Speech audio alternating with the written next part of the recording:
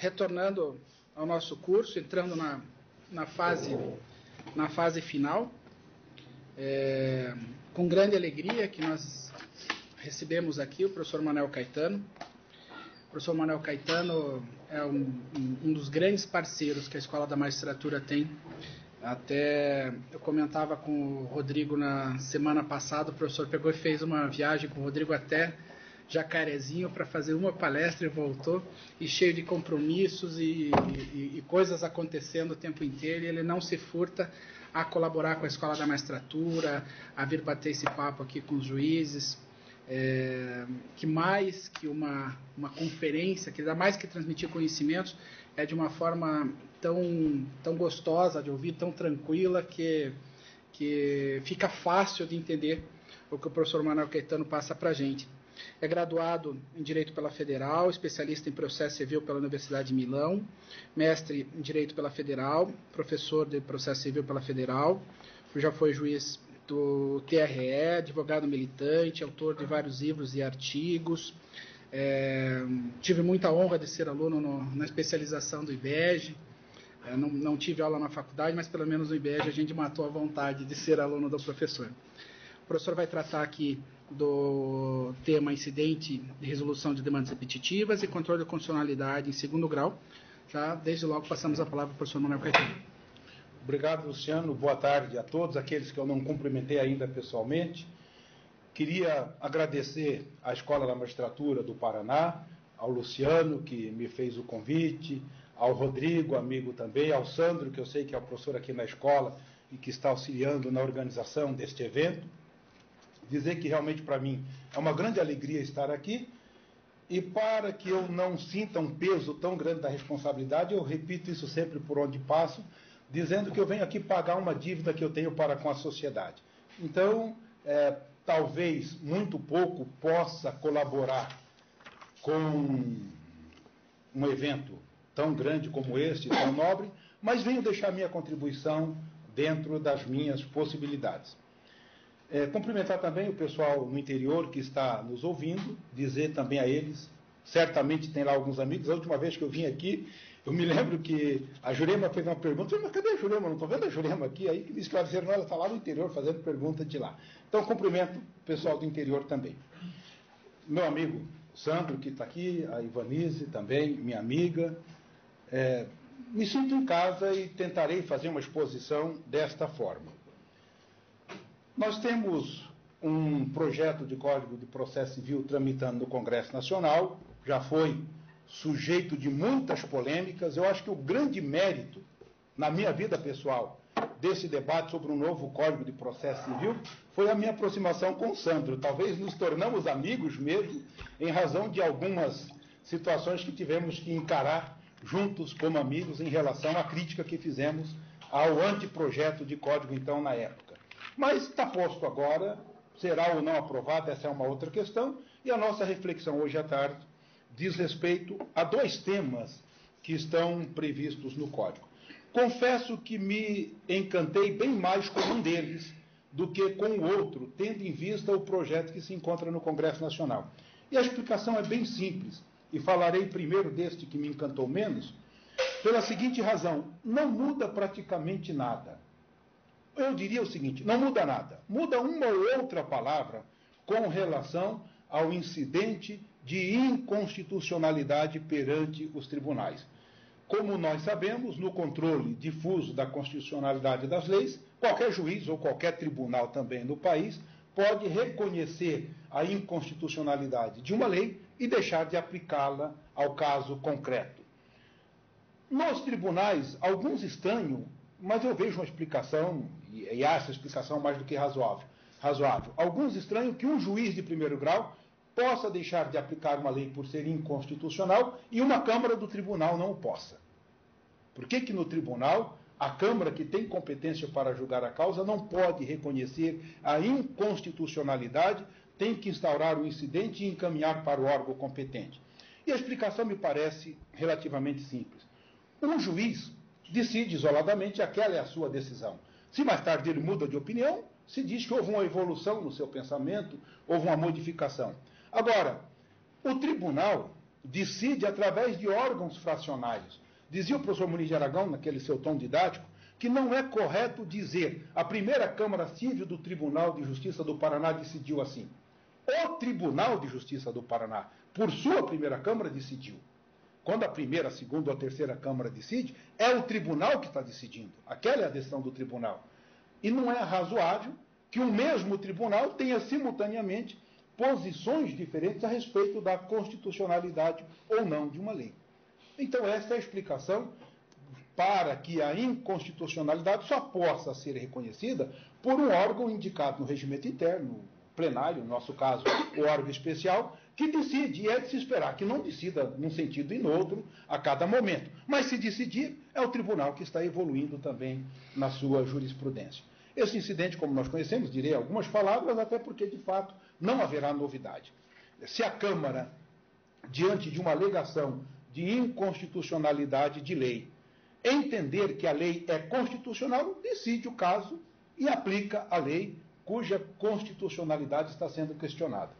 Mas se a Câmara se inclinar pela inconstitucionalidade, não pode julgar o caso, deixando de aplicar a lei por inconstitucional. Suspende o julgamento, instaura o incidente, encaminha os autos ao órgão competente, que decidirá apenas essa questão jurídica. O nosso órgão especial irá decidir se a lei é ou não inconstitucional. E esta decisão, depois retornando os autos à Câmara, vincula o julgamento do caso concreto. Este é um incidente que nós temos disciplinado de forma até breve no nosso Código de Processo Civil e, como eu disse, não terá qualquer alteração se aprovado o projeto que tramita no Congresso Nacional. Depois, se for o caso, poderemos conversar a respeito deste tema.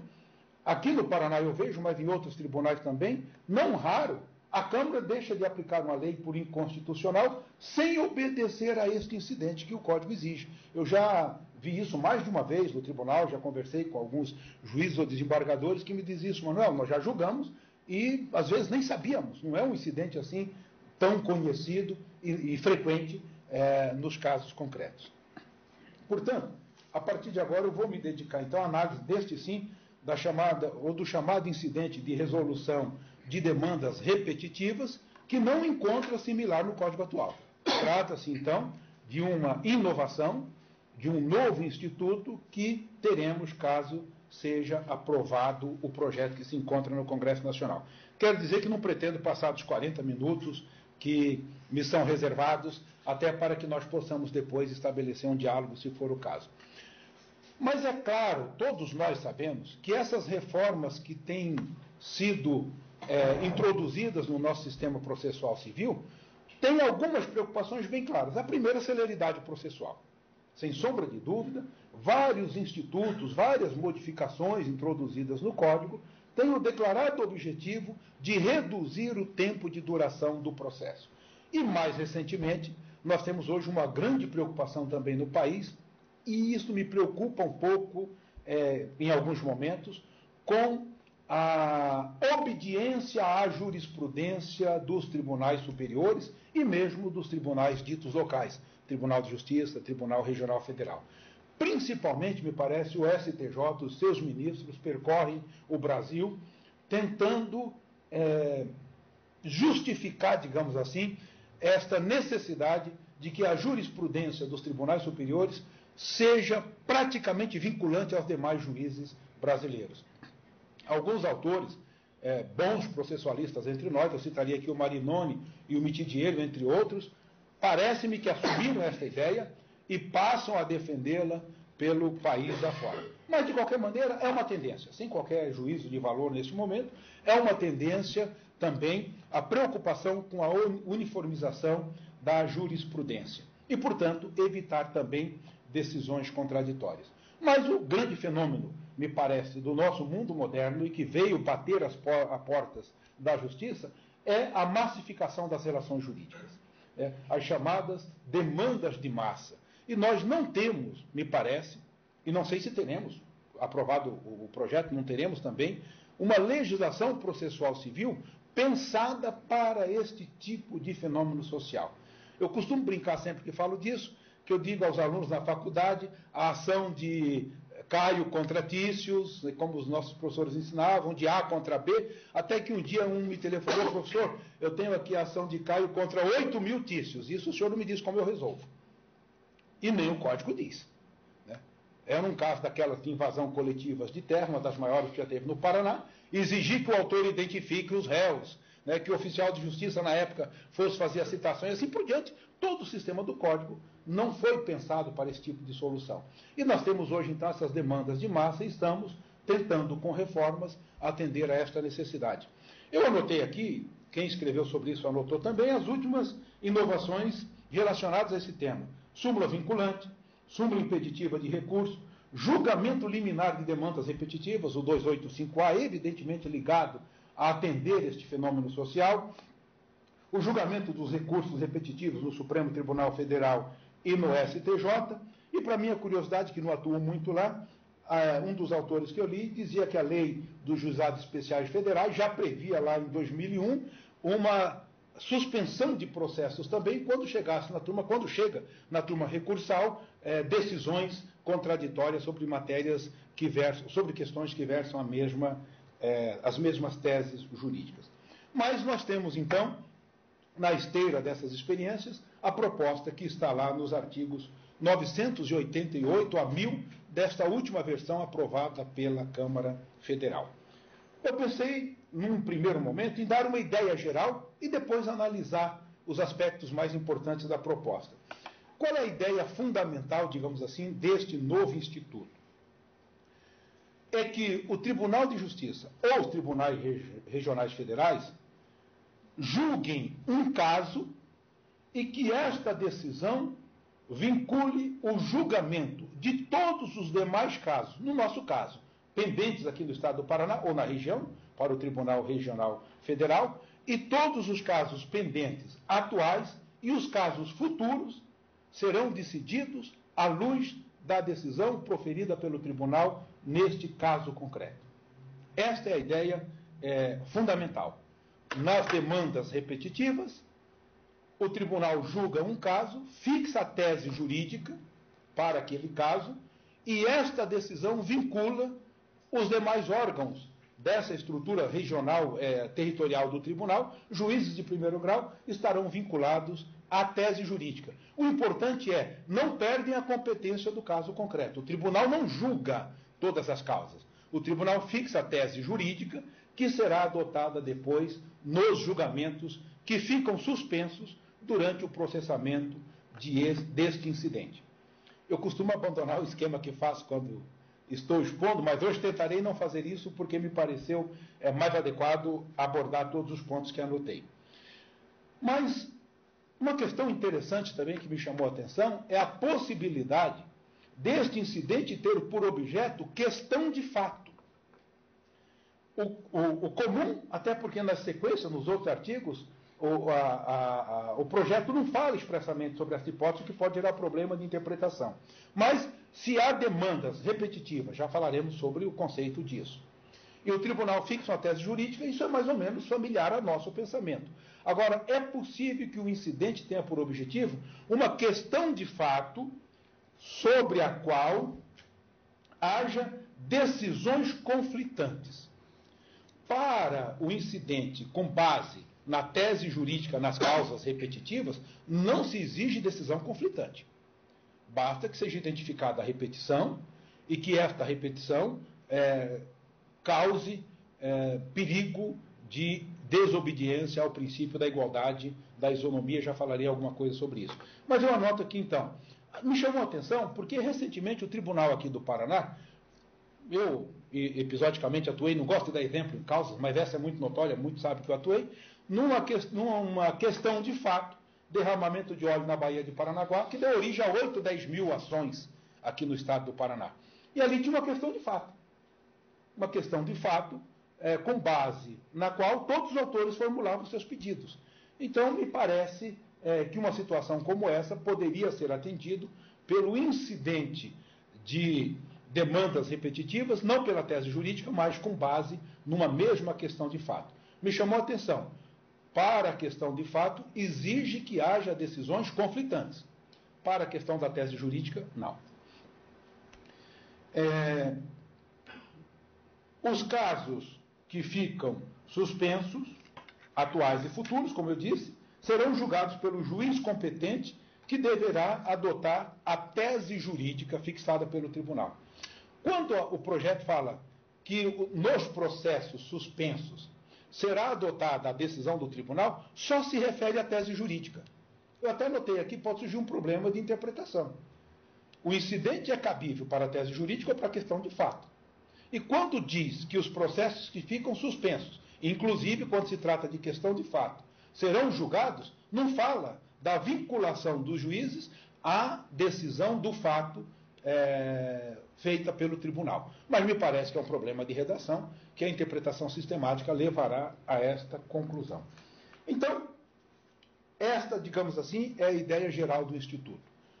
Selecionar um caso, fixar a tese jurídica ou a decisão sobre o fato que vincula os demais juízes. Algumas questões que não fazem parte da nossa análise aqui hoje podem ser suscitadas. Se o juiz decide e aplica a tese fixada pelo tribunal, caberá recurso? Caberá, caberá. É, todas as garantias do processo continuam existindo. Então, eu, eu, eu, de vez em quando, fico em dúvida se nós não estamos dando passos inseguros. Porque eu não sei se a celeridade almejada será encontrada. Né? Se há, e me parece que não dá, pelo menos no estágio atual, para retirar o direito ao recurso. Neste capítulo não se diz nada. Mas o juiz irá decidir, proferir a sua sentença, e da sentença caberá apelação. Evidentemente, com o julgamento é, de apelações repetitivas, podemos pensar nisso, mas é uma questão que me ocorreu enquanto fazia análise. Quais são os pressupostos, portanto, da instauração ou para a instauração deste incidente? Repetição de processos que contenham controvérsia sobre questão unicamente de direito. Então, as mesmas questões de direito, ou como disse, decisões conflitantes sobre a mesma questão de fato.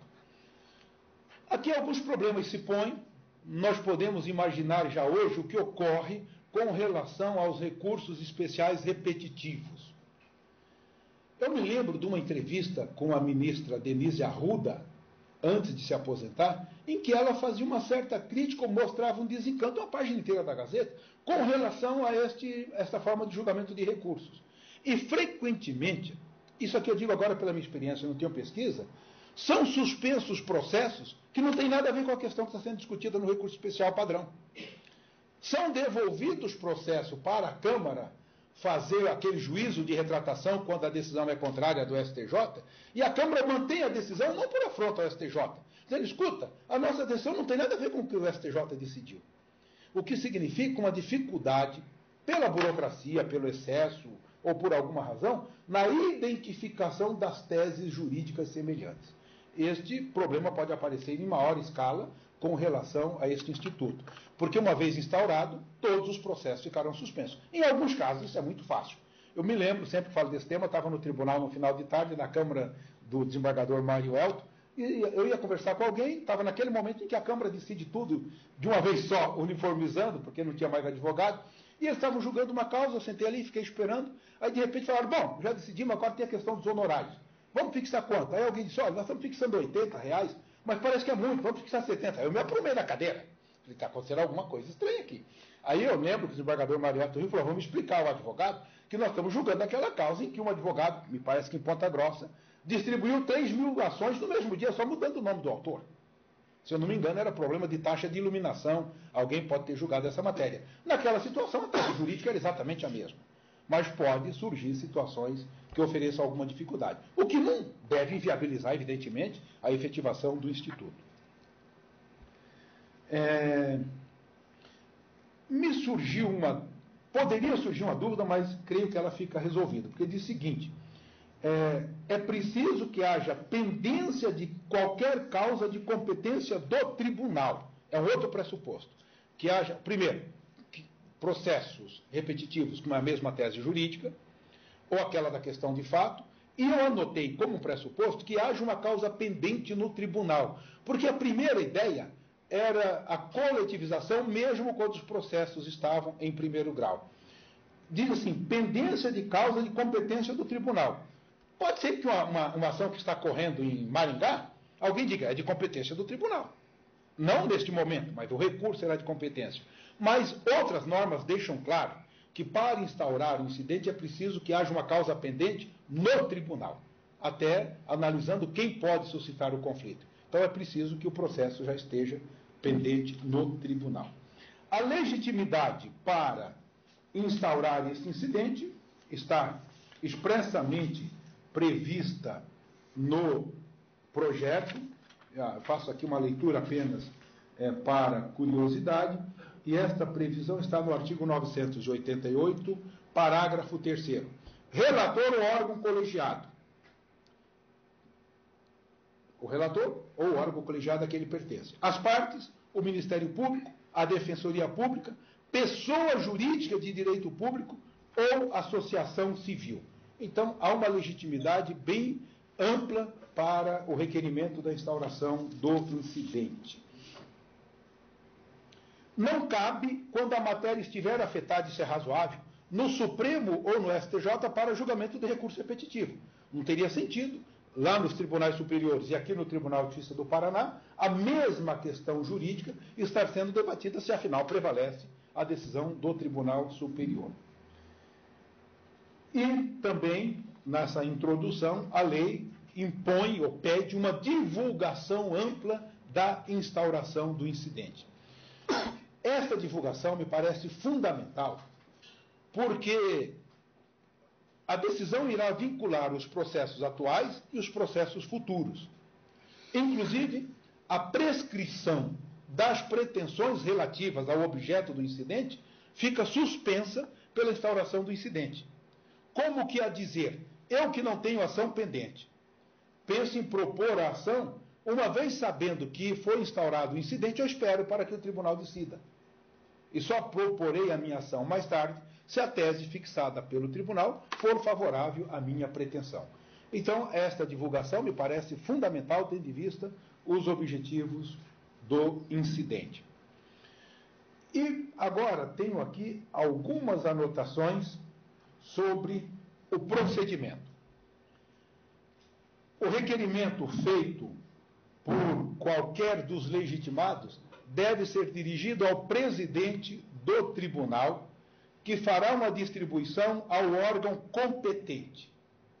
E aqui, então, indicado no regimento interno. A lei não diz qual órgão do tribunal, como às vezes faz, tem competência para julgar a matéria. E neste ponto eu até quero fazer uma reflexão sobre algo que me parece que acontece hoje aqui no nosso Tribunal de Justiça. O órgão competente fixado no regimento interno há de ser aquele que tem competência para uniformizar a jurisprudência. Aqui no Paraná, nós temos hoje a seção civil como órgão encarregado de uniformizar a jurisprudência. E qual a preocupação que eu tenho relacionada a esse instituto, mas que é uma preocupação atual? Nós temos a seção civil do Tribunal de Justiça do Paraná, formada por um desembargador de cada Câmara Civil, portanto são 18, que é o mais antigo após o presidente, não é isso? Vocês não imaginam, e nem precisariam imaginar, o tormento que é para o advogado essa composição. Muda no dia da reunião. Todos os dias muda esta composição, praticamente. Se fizer essa experiência, verão. Mas tem um detalhe importante. Tem matéria, suponho que tem, de competência de duas câmaras, competência especializada. Deve ter, mais de três tem com certeza. Então, a reunião envolve 18 desembargadores para uniformizar uma matéria que é tão polêmica a tal ponto de ter várias decisões, nós temos casos em que uma, duas ou três, mais de duas ou três teses são adotadas no mesmo caso. E quem vai decidir a uniformização, o incidente e dizer qual a solução para o caso concreto, são 15 ou 16 desembargadores que não julgam a matéria, que não conhecem a matéria. Não é por nada, porque não atuam naquela Câmara especializada. Isso gera aí algum problema. Por quê? Imaginem que nós sejamos de uma, membros de três câmaras que julgam determinada matéria. Estamos há dois ou três anos preocupados com as divergências entre as câmaras ou entre nós, isso é, acontece todos os dias, da mesma Câmara. Estamos debatendo, tentando encontrar uma solução, aí vem outros 15 que não conhecem a matéria, que não participaram do debate e impõem uma determinada decisão. Isto me parece, eu não sei se eu estou equivocado, mas me parece algo inadequado.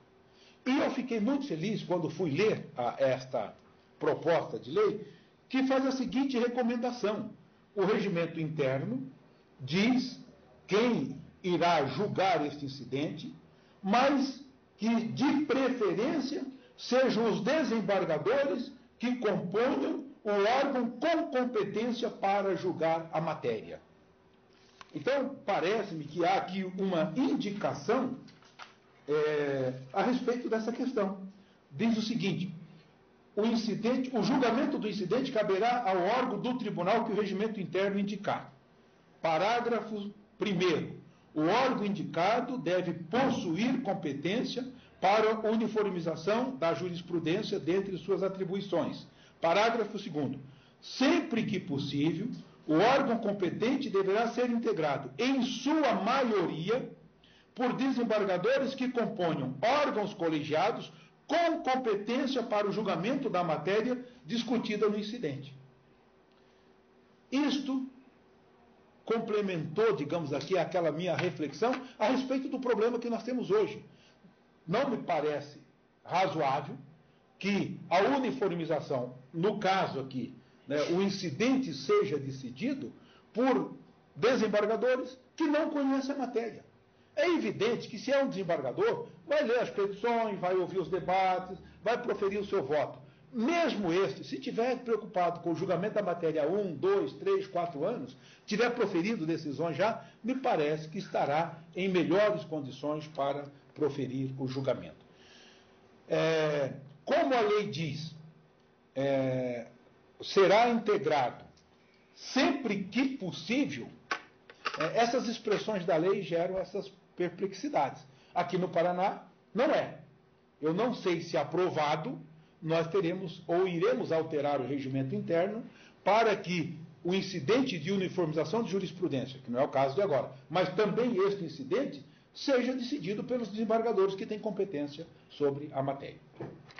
Bem, indo adiante então, haverá a distribuição para este órgão e será sorteado um relator e será feito então o juízo de admissibilidade do incidente. Diz o artigo 990 do projeto. Após a distribuição, o órgão colegiado competente procederá ao juízo de admissibilidade. Portanto, não é feito pelo relator. A admissibilidade do incidente, que envolve a análise dos seus pressupostos, repetição de causas em torno de uma mesma tese jurídica, e eu venho omitindo o, o outro pressuposto, que é, é que haja risco de ofensa à isonomia e à segurança jurídica. Então, o órgão colegiado irá analisar a presença desses pressupostos.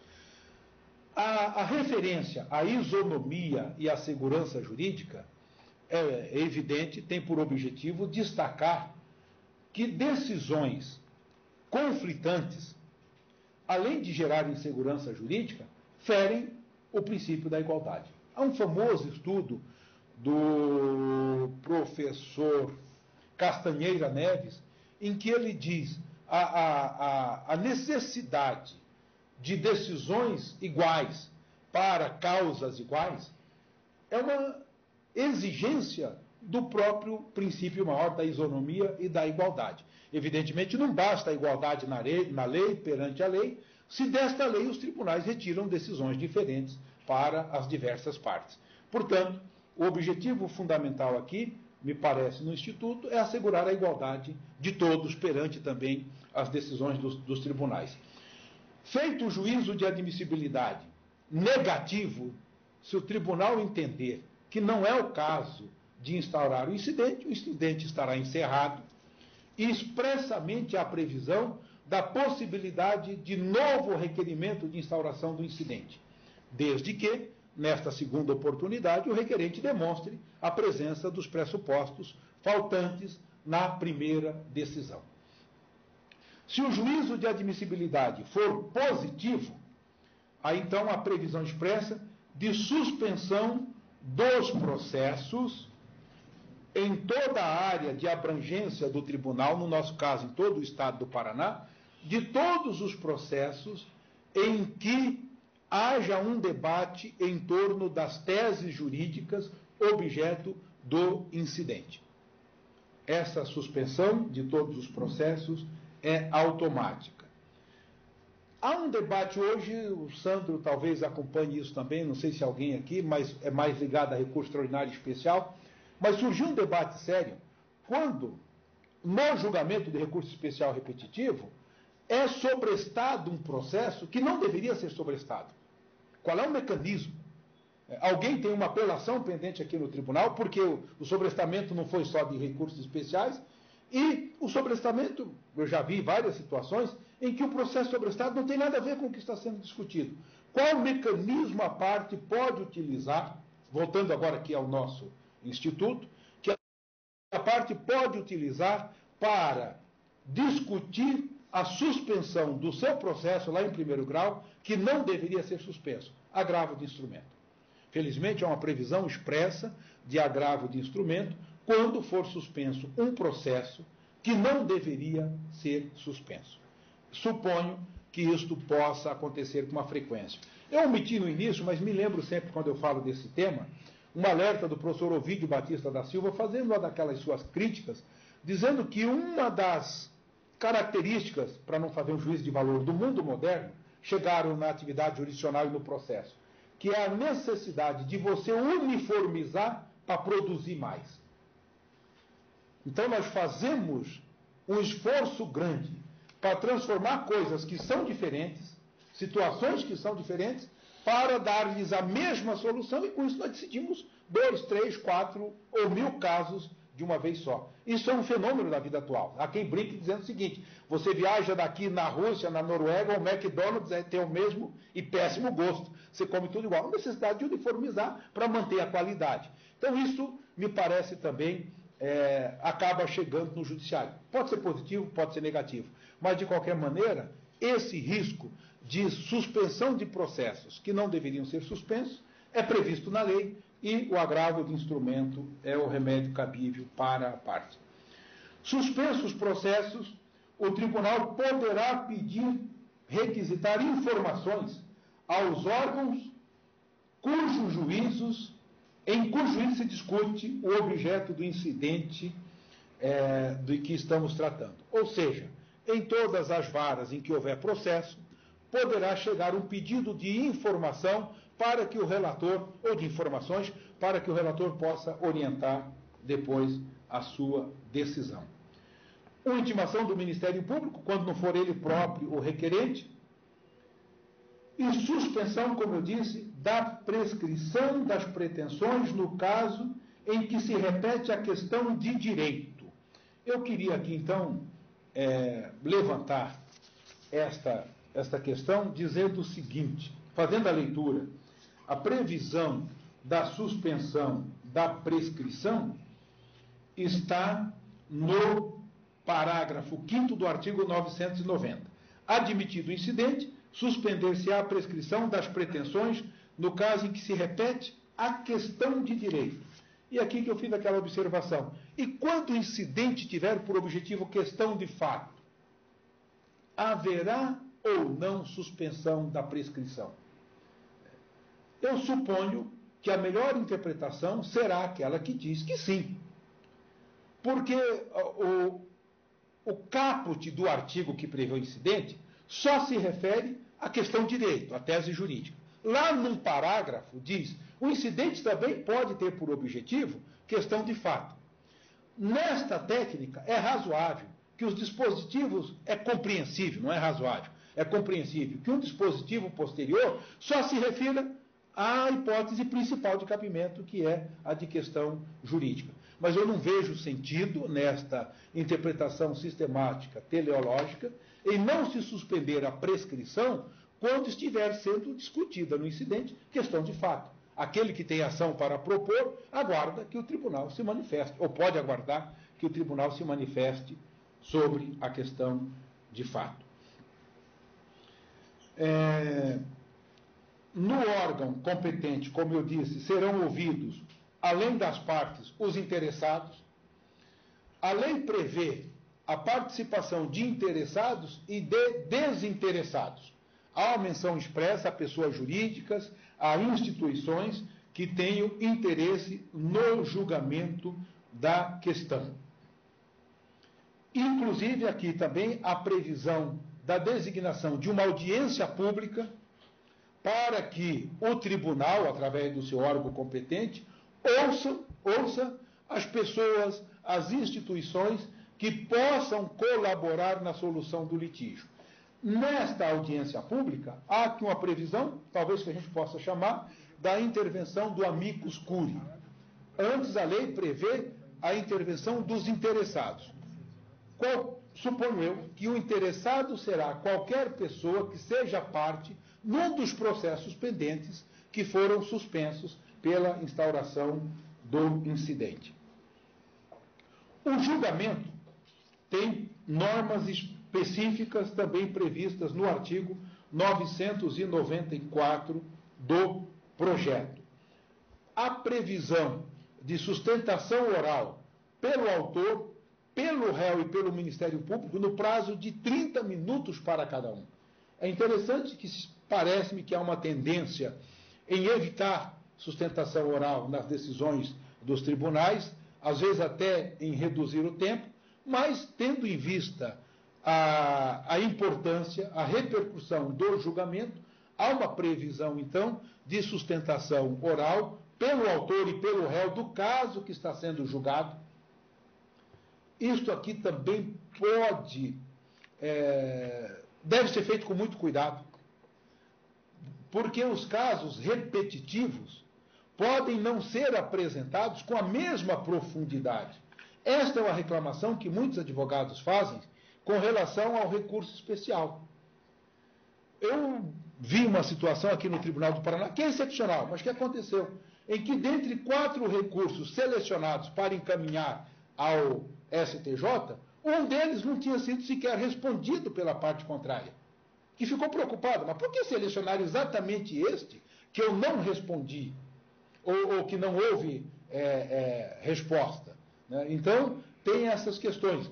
Al, alguma ação pode ter sido proposta com uma petição inicial contendo uma fundamentação melhor do que a petição inicial de outro processo. Por isso, parece importante um cuidado na hora dessa seleção, o que é atendido pela possibilidade de participação de qualquer interessado, suponho eu, que assim deve ser entendido aquele que é parte num processo em que se discute a mesma questão de direito ou de fato. É, uma outra questão também interessante: há uma regra específica para o acórdão. O acórdão irá decidir é, o incidente adotando uma das teses jurídicas debatidas pelas partes no processo. E a exigência que se faz neste caso não é comum para todos os acórdãos. Há um, um, um, artigo muito interessante de um juiz já aposentado do Tribunal Regional Federal que chama, chama Amir Sarti. Eu brinco sempre pelo nome parecido com Almir Sater, né? E, e, ele escreveu um artigo publicado num daqueles volumes, é, Questões Polêmicas sobre Recursos, coordenado pela professora Teresa Wamber, e escreveu dizendo que o juiz não é obrigado a decidir todas as questões suscitadas pelas partes, como não é também o tribunal. E, e, e explica bem isso, porque um dos requisitos da sentença, que é a, a exigência de que o juiz decida todas as questões suscitadas, é, o professor Muniz de Aragão insiste em dizer que, além dos requisitos previstos lá no artigo 458 do Código, relatório, fundamentação e dispositivo, a sentença deve ser clara e precisa. E precisa é a sentença que aborda todas as questões suscitadas. Mas nem sempre isto se faz necessário. O exemplo simples é: se o réu alega prescrição e o juiz acolhe, não precisa decidir as demais defesas alegadas pelo réu. Pois bem, é, para o incidente de demandas repetitivas, a lei exige que o acórdão analise todos os fundamentos das duas teses. Não basta justificar por que escolheu a tese A. É preciso trazer os fundamentos também pelos quais entendeu que não era o caso de prevalecer a tese B. Há uma é, norma expressa nesse sentido é, que consta no artigo 994, já encontrarei aqui o parágrafo correspondente. Diz o seguinte: o conteúdo, parágrafo 3 do artigo 994. O conteúdo do acordo abrangerá a análise de todos os fundamentos suscitados à tese jurídica discutida, sejam favoráveis ou contrários.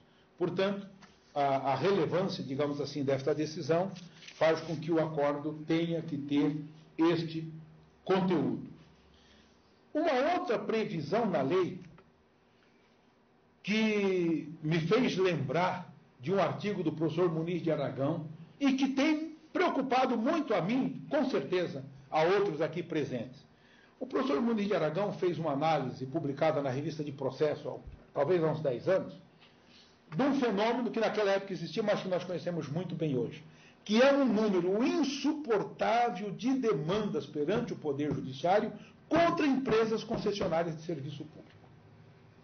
Não é razoável que um Estado crie ou deixe surgir uma situação como essa, por exemplo, não é só o caso, serviço de telefonia celular. Milhares e milhares de ações, todos os dias, talvez muitos de nós aqui já tenha passado, eu já passei, por esses dissabores com relação a esse tipo de atividade. E ele diz: aqui é um problema anterior à chegada da questão do Poder Judiciário.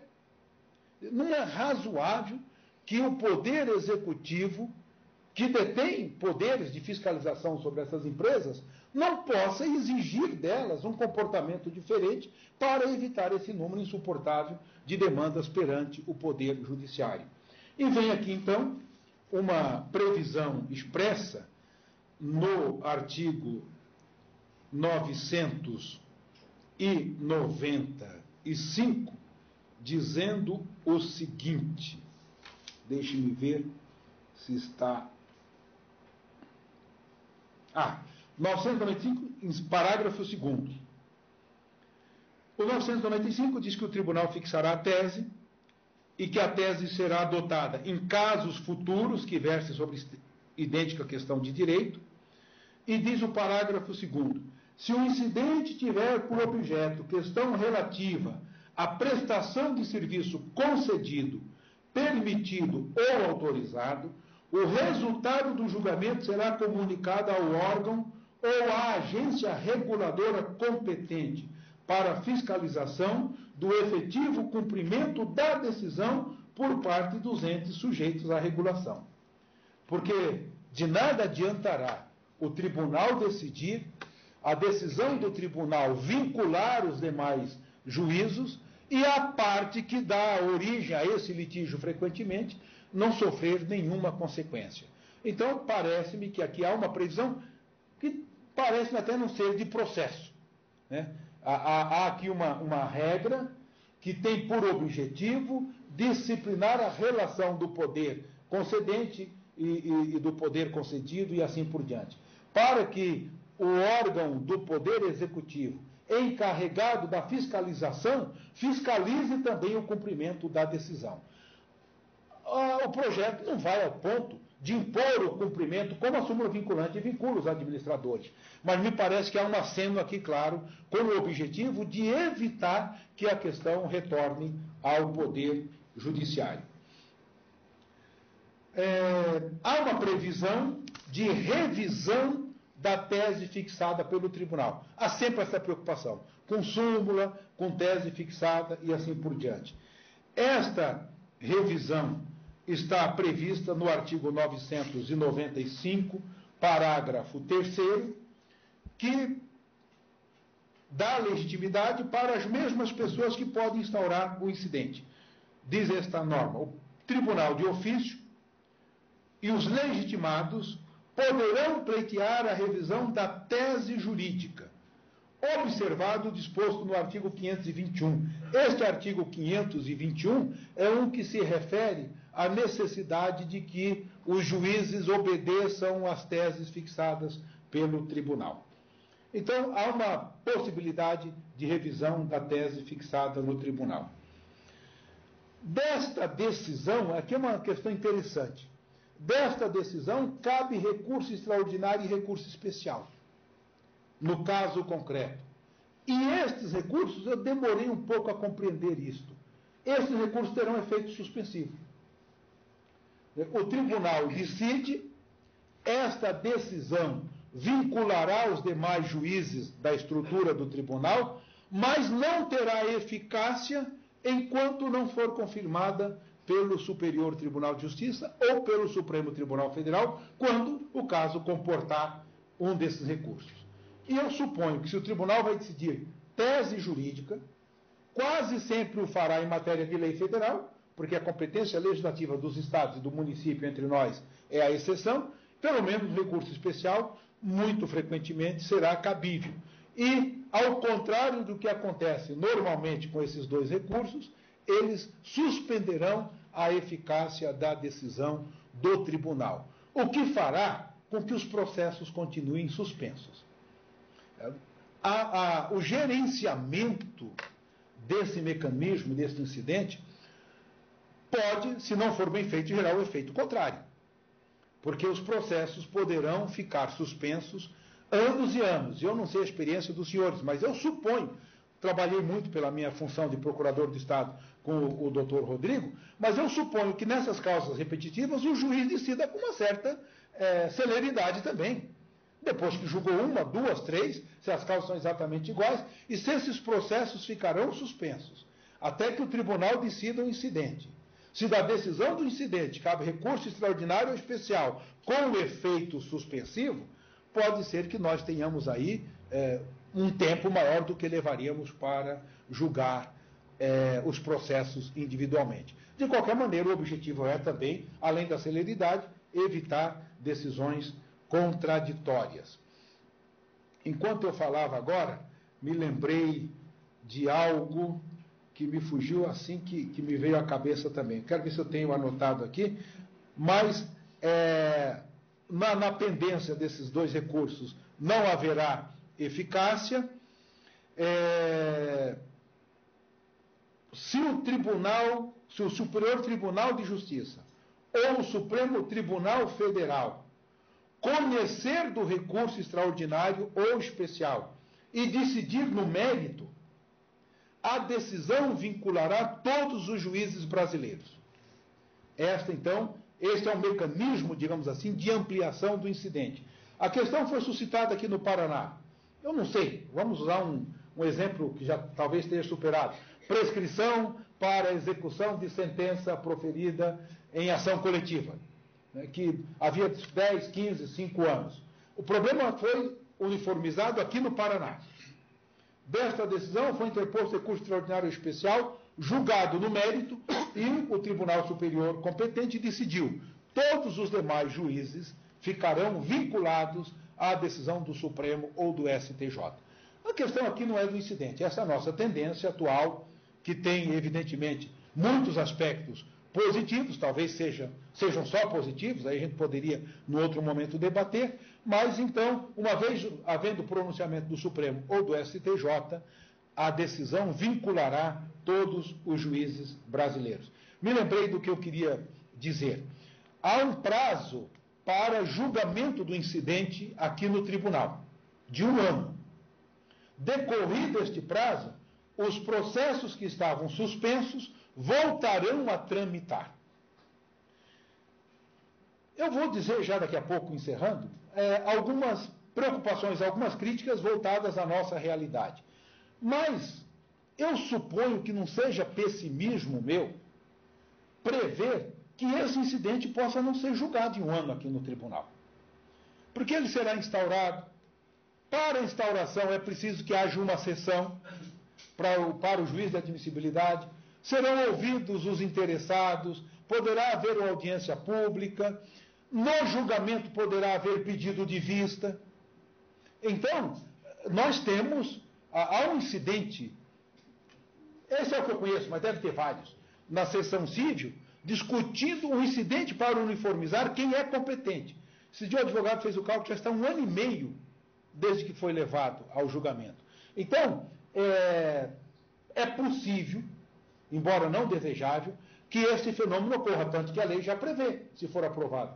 Depois de um ano, os processos voltarão a tramitar normalmente. Salvo se o relator proferir uma decisão fundamentada que justifique a prorrogação da suspensão. Mas este é, é, é, esta é uma questão que preocupa também. Pois bem, em linhas gerais, este, digamos assim, é o novo instituto do incidente que é chamado de julgamento de demandas repetitivas.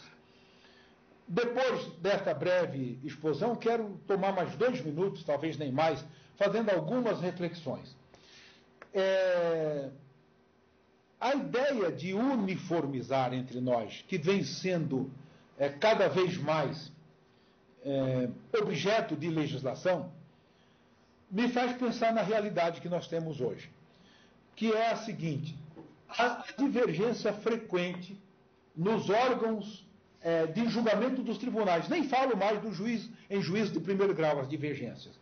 Mas a minha experiência aqui no tribunal mostra o seguinte: a mesma questão de direito é decidida em câmaras de modo diferente.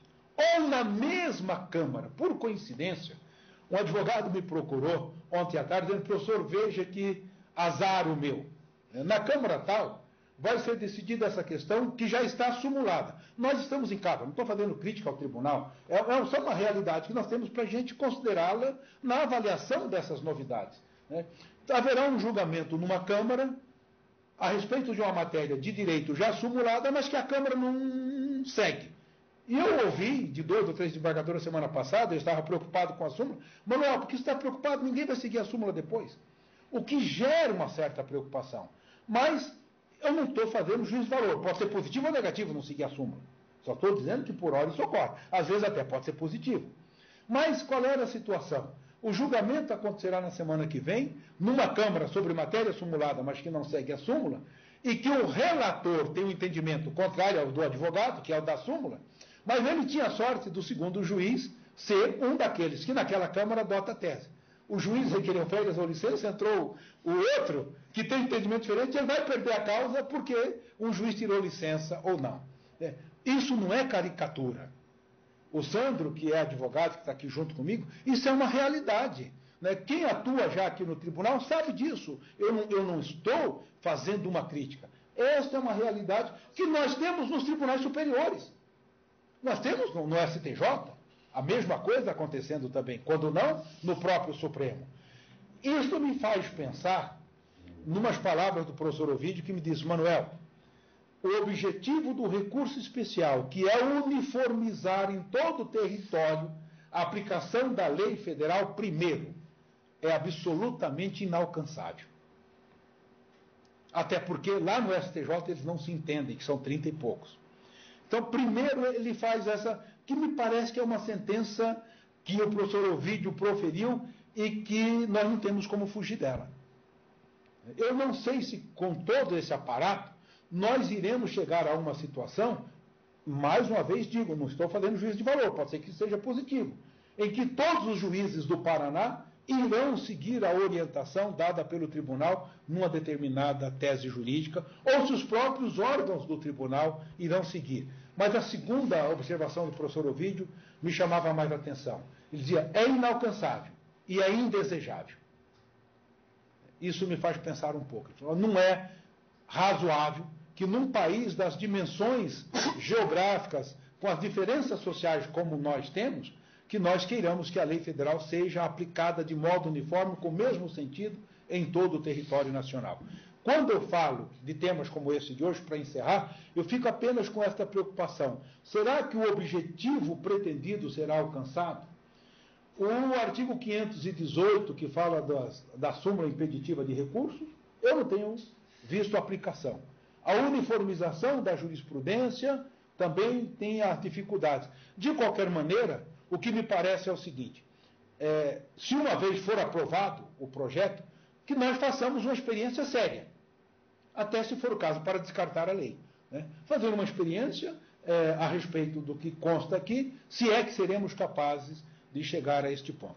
Bem, eu encerro aqui então a minha exposição e, se for o caso, poderemos depois, é, em seguida, estabelecer um diálogo a respeito de esclarecimento. Alguém pode ter uma opinião também a respeito do assunto. E eu quero, mais uma vez, agradecer a à Escola da Magistratura do Paraná, aos organizadores do evento. Eu não me canso de agradecer, porque de fato vejo nisso, tenho repetido, disse em Jacarezinho, uma preocupação com uma formação dos operadores do direito, no nosso caso aqui, com magistrados.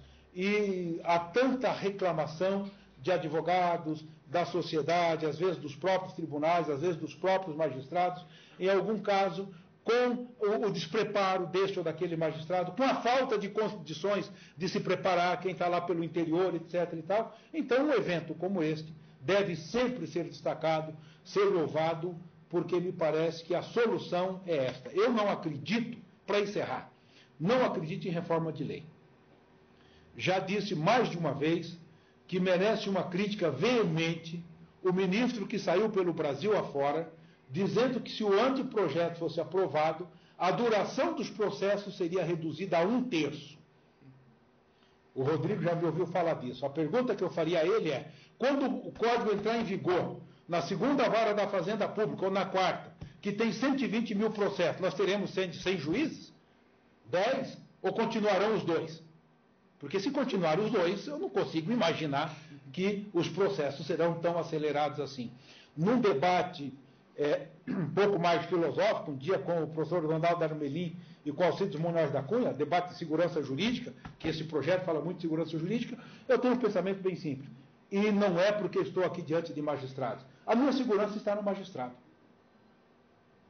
Não há segurança no texto da lei. Nós vivemos um período de uma Constituição maravilhosa em que o Poder Judiciário estava amordaçado também e as maiores atrocidades eram cometidas pelo Brasil afora e ninguém tinha proteção perante o Poder Judiciário. Então, o que me parece é ah, precisamos de juízes bem preparados em todos os aspectos. E a Escola da Magistratura do Paraná, eu acompanho, o Sandro acompanha, vocês acompanham, eu acompanho há muitos anos, me lembro, há mais de 20 anos, esses encontros que tem feito. E por isso é que eu quero, então, além de agradecer, cumprimentá-los pelo evento. Muito obrigado.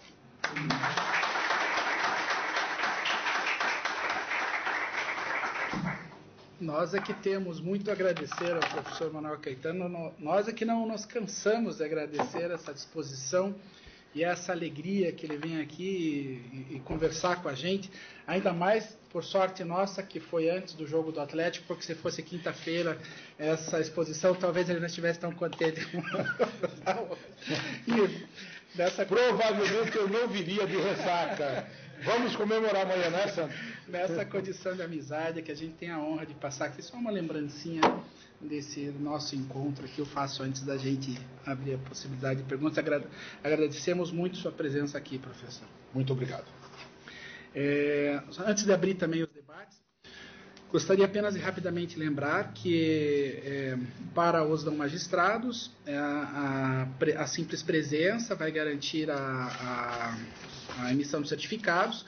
Para os magistrados, está sendo disponibilizada na sala online, na, na sala Moodle da escola, é, quem tiver alguma dúvida, é, pode é, conversar com a gente ao final ou mandar por e-mail. É, entra na sala mudo, vão ter duas questões a serem resolvidas. Uma delas é, pode ser escolhida para ser resolvida e depois vai ser é, comunicado quando estiver pronto certificado. Isso para, mais para fins de, de cumprimentos de horas da infância. Abrimos então a, a possibilidade de, de, de, algumas colocações ou perguntas, já que o professor gentilmente nos cedeu mais alguns minutos do seu tempo aqui para um bate-papo com a gente. É, me lembra, me lembro da, das lições do, do que o professor falava da uniformização, que é, a gente tentou copiar um, um, estilo americano de uniformização, só que nos Estados Unidos são pouquíssimas as leis federais, e com isso a possibilidade de uniformizar, o número de julgamentos acaba sendo bem pequeno. E muita gente escuta nessa, nessa reforma a palavra, a ideia de celeridade, inclusive quando se trata, ainda sobre uniformidade, fica difícil a gente pensar numa uniformização, uniformização no, no, no STJ quando a gente, né, na sexta-feira a gente ouviu uma palestra do ministro Noronha e na outra semana a gente ouviu uma palestra do ministro Herman Benjamin. Fica difícil de conseguir a, a achar que ambos vão chegar a alguma conclusão que vão, que vão, é, que vão uniformizar alguma coisa dentro do assunto. Mas a gente sempre ouve, principalmente em termos de recursos, a, a ideia de celeridade, mas eu fico me, me perguntando se efetivamente é, é, ao se tratar de reforma de recursos, é celeridade que a gente está buscando, se a gente não deveria tentar conversar isso de uma forma mais franca. O professor é, é, é Remo Capo, esse isso, nome, isso, o professor Remo Capo esteve aqui na, na, no, no Congresso Federal, ele falou uma frase que me chamou a atenção, que ele falou que o Capone. Cap, Capone. Remo Capone. Remo Capone. Ele falou que o sistema processual que a gente tem nada mais reflete do que a estrutura de poder que o Estado deseja para aquele momento. E se essa estrutura de poder que, que, que nós estamos desejando, essa mesmo que a gente está aqui, por isso a gente tem esse sistema processual e ele muda tão pouco. E, e essa ideia de celeridade me parece um pouquinho, com todo respeito, um pouquinho enganosa, porque me parece muito mais que a gente está buscando é um controle. É, por quê? Para ser mais previsível.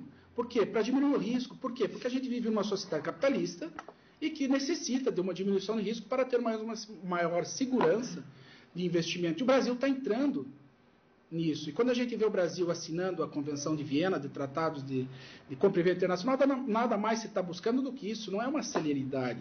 Como também eu acho que é, quando a gente é, fala de celeridade em mutirões de conciliação é quando a gente vai perceber que os, o, muitos dos processos que são mandados são créditos podres e que a empresa continua agindo da mesma forma, dando origem a novos milhões de processos, a gente continua ouvindo essa ideia de celeridade, quando na verdade é, de celeridade tem pouco. Professor, eu até queria perguntar, será que talvez nós não, não deveríamos, nesse momento, com uma maturidade de alguns anos de democracia, conversar, é, falar, não, olha, nós estamos num Estado liberal, num Estado capitalista, e nós precisamos, nesse momento, de uma certa uniformização na nossa decisão. Mas vamos parar, de falar em, em, solução de diminuir um terço dos processos com a mudança do código, vamos parar de falar que mutirão de conciliação vai, vai conseguir solucionar o problema de, de, de estrutura de sistema processual. Eu vou dizer rapidamente o seguinte: um professor italiano disse que lá na Itália alguém criticou o seguinte: o difícil hoje em dia, quando fala um professor de processo, é saber se fala o professor ou o advogado. Né? Então, é essa postura aqui, e evidentemente essa é uma questão que a gente deve estar atento. O Luciano tocou em alguns assuntos que eu não tocaria, mas agora, provocado por ele, eu diria o seguinte: me parece. Esse professor italiano disse: a reforma na apelação ele já é justificativa diante da crise econômica para evitar, ou seja, os problemas econômicos por que passa o país, os problemas políticos, lá, segundo esse professor falou sobre apelação, não me lembro o nome dele agora, Santo, estavam ditando alterações no processo, é, retirando garantias constitucionais, retirando garantias tradicionais das partes, em razão da segurança das relações econômicas e assim por diante.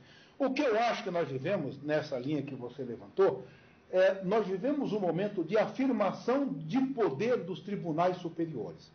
Isso eu temo um pouco, disse isso ao Marinoni, ao Mitidiero, naquele congresso, na noite anterior, quando estive lá, Rodrigo. Porque a seguinte ideia: esses tribunais não existem para aplicar o direito ao caso concreto.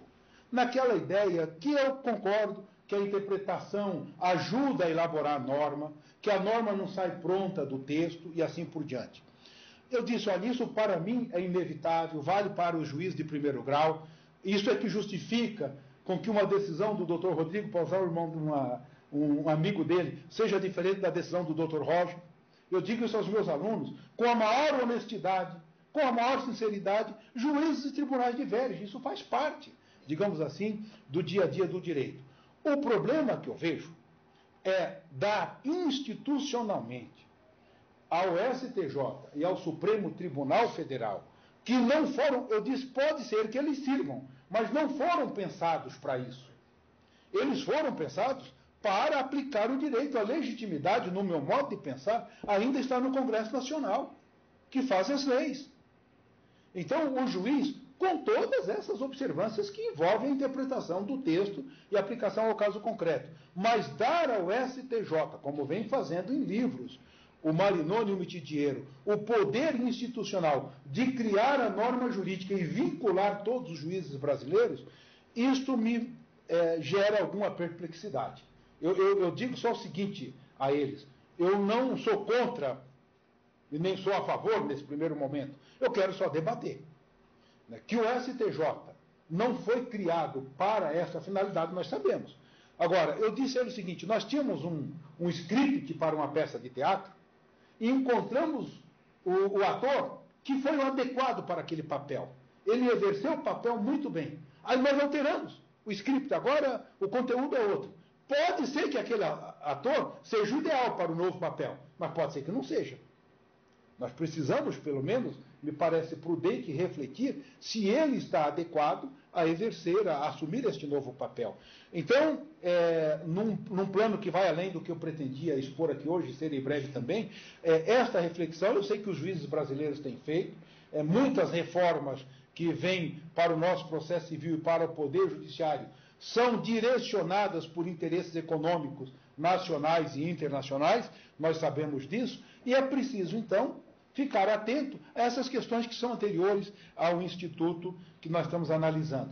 Mas eu diria para vocês, como cidadão, como advogado, sem nenhum temor de ser advogado, isso não, não me preocupa, mas eu sou bem sincero quando eu digo isso. Eu, eu, repito o que disse o professor italiano. Se for para, é, como cidadão, como sociedade, acreditar numa justiça, eu vou além. Eu, eu diria que é no primeiro grau, é na justiça de primeiro grau, que nós precisamos confiar e é ali que se faz justiça.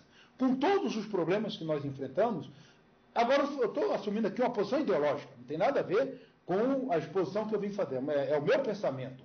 É, eu prefiro mil vezes a justiça de primeiro grau, com todos os problemas que nós temos, tribunais de justiça, do que o STJ decidindo. Eu repito, estou aqui assumindo uma posição ideológica.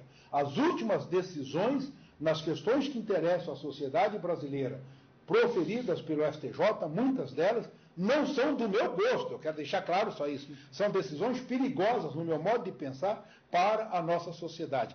Por isso que eu fico um pouco é, irrequieto, um pouco aperreado, como diriam meus avós, quando eu vejo essa tentativa de impor o pensamento do STJ a todos os tribunais brasileiros. E vocês sabem bem disso, o quanto os ministros foram citados aqui, um ou dois, mas nós sabemos o quanto o STJ, e tem argumentos sedutores, né, para o Marinoni, para o Mitidiero e para outros, e, e argumentos é, procedentes. De fato, não me parece razoável que haja essa insegurança toda na jurisprudência brasileira. Mas no, no nosso sistema constitucional democrático, é, me causa uma certa preocupação essas ideias que têm orientado essas reformas no nosso processo civil.